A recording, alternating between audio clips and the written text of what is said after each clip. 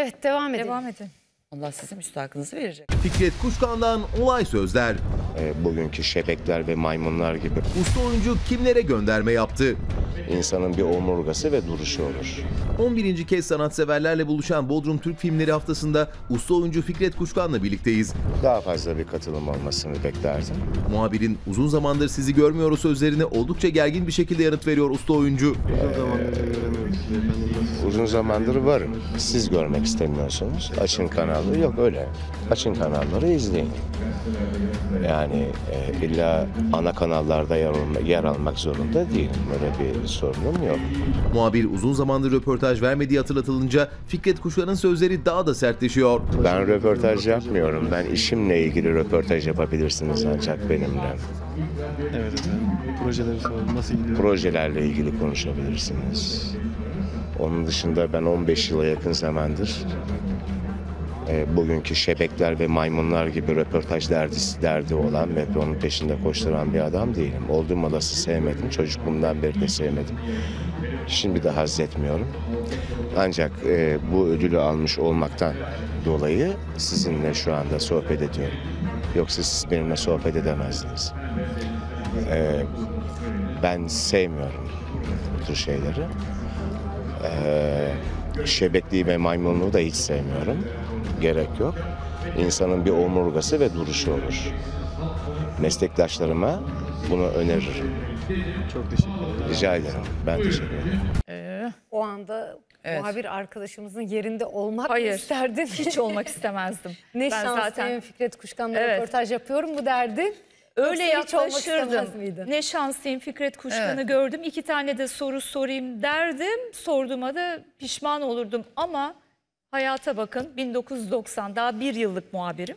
Tıfılım. Ee, dediler ki bana kim dedi herhalde yazı işleri müdürüm. Ya dedi çok yetenekli iki pırlanta var dedi. Okuyorlar ya da son sınıftalar dedi. Sen onlarla bir röportaj yap.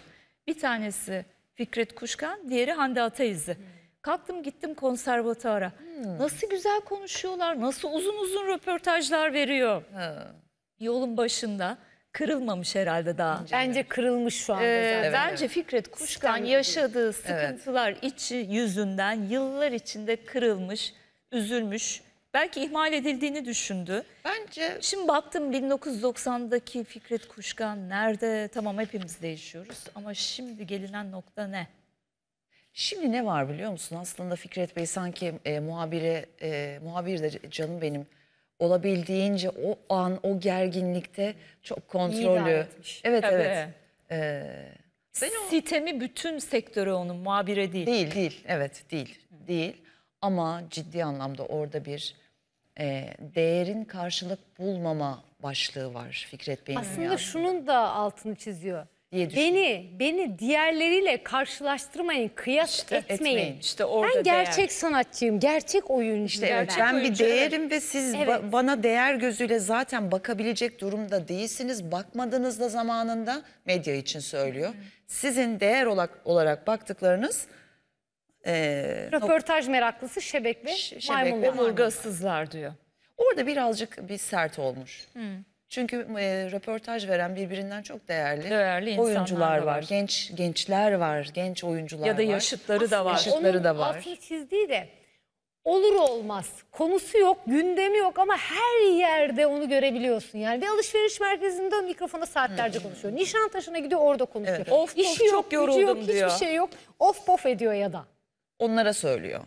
Ama Fikret Bey gerçekten Çok değerli. çok Evet. çok yani tiyatro bölümünde özellikle mesela işin tiyatro ayağında e, mutlaka oyunculuğuyla irdelenen bir oyuncudur.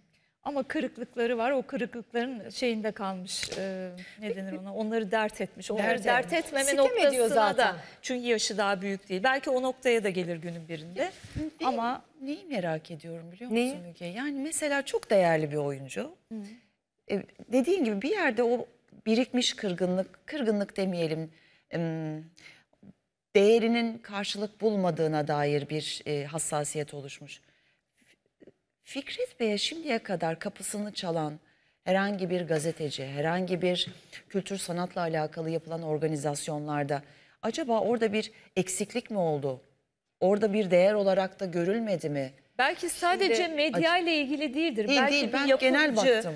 bir senarist, bir televizyon kanalı. Bak çünkü ne bence- diyor? Ana akımda görmüyorsanız diğer yerlerde iş yapmadığımız anlamına gelmiyor diyor. Evet. Belki reyting yüzünden kırdılar, üzdüler. Şunu da demek Şevket Altuğ aslında. gitti bir daha dönmüyor. gibi Bu yüzden. gibi. Çok ekranda olunca, çok bir projenin içinde olunca da değerli o kişinin değerli olduğu anlamı çıkmasın demek istiyor aslında. Tabii. Biraz da bence sistemle ilgili sistem ediyor. Tabii ki. Rakamlara bakıyor. Şimdi, Şimdi bak, oyuncu kaşelerine bakıyor. Onu konuşacağız. Oyuncu kaşelerine bakıyor. Yarı yaşındaki çocuk 2 milyon lira kazanıyor. Evet, evet. Onun kadar yeteneği var mı? Onun kadar tecrübesi, Tecrübesi var mı? Asla yok. Çağatay İşte şimdi Ulusoy. Çağatay Ulusoy bölüm başına 2 milyon lira kazanacak. Birsen Altuntaş'ın özel haberi. Ya Kıvanç Tatlıtuğ'un 1,5 milyon rekoru aile dizisinden 1,5 milyon lira kazanıyordu bölüm başına.